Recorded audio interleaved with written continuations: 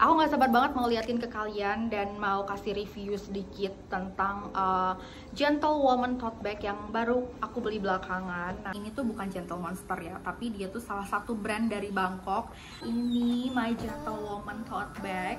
Nah, kebetulan kemarin itu aku beli ke temen aku yang berangkat ke Bangkok jadi lewat just tip gitu nah ini aku pilihnya yang seri tote bagnya karena aku tuh tipe yang kayak suka banget sama tote bag. Kebetulan aku punya tote bag dari Tory Burch dan menurut aku itu lumayan kebesaran. Nanti aku bakalan review juga di salah satu video yang lainnya. Makanya aku butuh support kalian supaya kalian like dulu videonya dan subscribe dan juga komen. Nanti kalau misalkan kalian butuh review-review dari aku untuk tas yang lainnya atau review barang apa pun itu kalian bisa komen di bawah gitu.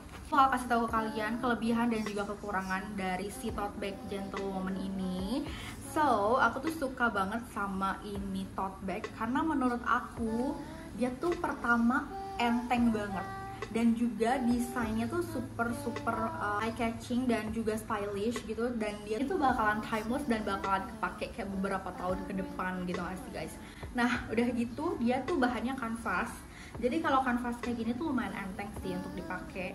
Dan uh, maksudnya kayak nggak berat gitu loh. Karena kan kalau misalnya kayak uh, tas-tas yang berbahan kulit gitu itu juga makan volume gitu bakalan berat juga kan. Nah kalau ini tuh lebih enteng. Ya kelebihan yang ketiga itu menurut aku dia harganya bener-bener super duper affordable. Jadi nggak bikin kantong kalian bolong kalau kalian beli sekalipun kalian belinya tuh di just tip gitu Nah, ini tuh kalau nggak salah di webnya itu harganya 250.000 something gitu ya guys. Uh, eh, BTW ini tuh kemarin ada tagnya, cuman kemarin aku udah sempet kayak lepasin tagnya. Nih, ini kalau misalkan kalian beli uh, yang asli tuh nanti kalian bisa apa namanya bisa scan barcode-nya. Nah, ini ada barcode-nya nanti kalian bisa scan kan. Tapi sayang sih guys, ini tuh kekurangannya menurut aku dia itu um, apa ya? Um, dia nggak ada zipper.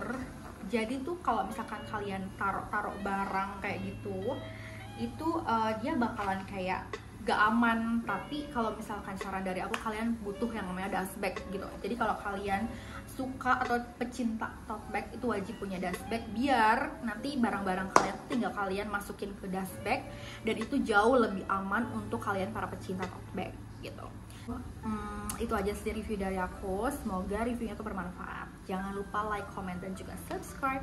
Bye bye